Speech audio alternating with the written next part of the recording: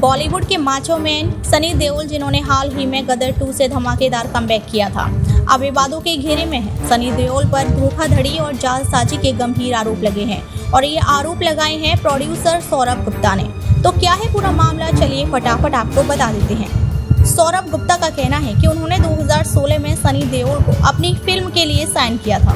समझौते के मुताबिक सनी को एक करोड़ रुपए एडवांस मिलने थे, लेकिन उन्होंने ढाई करोड़ रुपए ले लिए। सौरभ का आरोप है कि सनी ने कॉन्ट्रैक्ट में छेड़छाड़ कर अपनी फ़ीस और प्रॉफिट शेयरिंग का अमाउंट बढ़ा लिया। सौरभ गुप्ता ने हिंदुस्तान टाइम्स से बातचीत के दौरान बताया कि सनी देओल ने उनकी फ़िल्म की बजाय पोस्टर बॉयज़ की शूटिंग शुरू कर दी और उनसे और पैसे मांगते रहे। इस तरह उन्होंने सनी को दो दशमलव पचपन करोड़ रुपए दे दिए। सौरभ ने यह भी दावा किया कि 2023 में सनी ने उनकी कंपनी के साथ फर्जी समझौता किया था। जिसमें फ़ीस चार करोड़ से बढ़ाकर आठ करोड़ कर दी गई थी। इस मामले में डायरेक्टर सुनील दर्शन ने भी सौरभ गुप्ता का समर्थन किया है।